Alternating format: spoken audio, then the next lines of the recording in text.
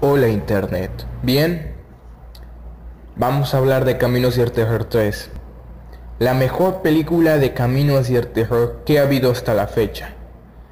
Si hubieran seguido haciendo películas de esa calidad, yo digo que la saga hubiera sido más reconocida por más personas. Bueno, sin más, vamos a comenzar. Primero que nada tenemos la trama de los presos, la trama de Chávez, del nazi, de Night Wilson, de cómo tienen que llevar a unos reos a otra prisión y entonces Night Wilson, un policía, se tienen que encargar de eso.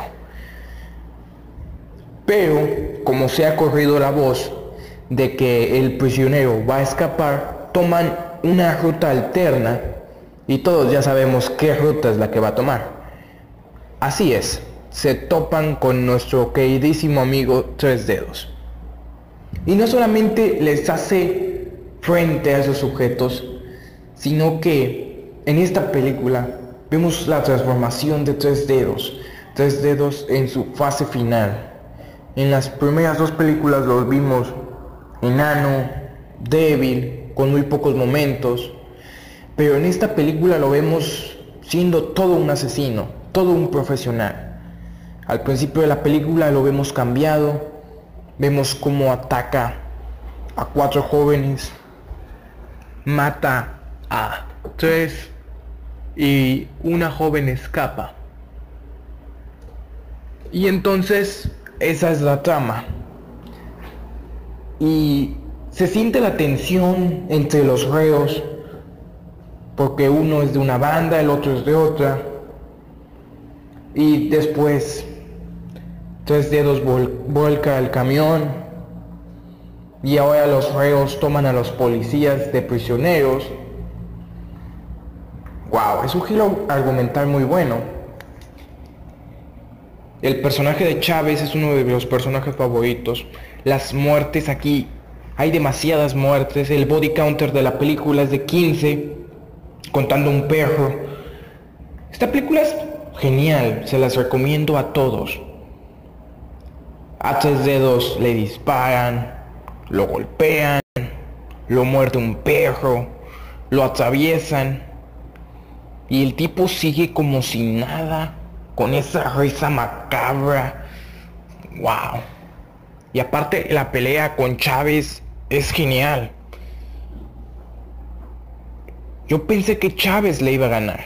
Porque sencillamente Chávez es un personaje fuerte, alto, musculoso, tipo que de un golpe te va a tumbar, te va a hacer sangrar. Pero Tres Dedos utiliza la inteligencia. Y algo que me gusta de esta película es que los presos son toscos, son criminales, no dudan en atacarte, no dudan en pelear entre ellos. Y se siente la tensión. Y otra cosa que mejora mucho al ambiente de la película es que todo se da en la noche. Todo es de noche. En las primeras dos películas era de día, tenías más visibilidad, podías ver mejor, pero en esta no, o sea, es de noche en un bosque. Y lo mejor del caso es que la vía llega a las 12 de la noche. Me desvelé viéndola estuvo genial. Se las recomiendo, es la mejor de la saga. Tienen que verla. Vemos la evolución de tres dedos. En las dos primeras películas sí era un asesino, sí era fuerte y todo, pero en esta mejora bastante. Y aparte lo vemos en su forma final, lo vemos matando, degollando, o sea...